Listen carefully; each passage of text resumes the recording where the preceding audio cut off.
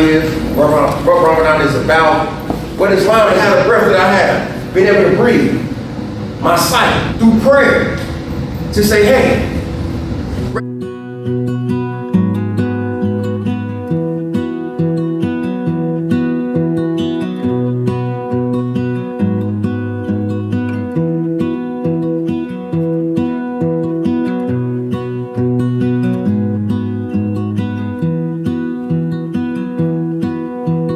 That just means there's no God but Allah, and Prophet Muhammad does. It's a last it's what you strive for, and I actually see it.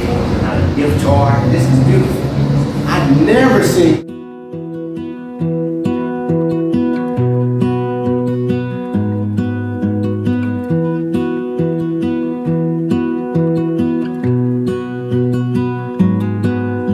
was 25 years ago.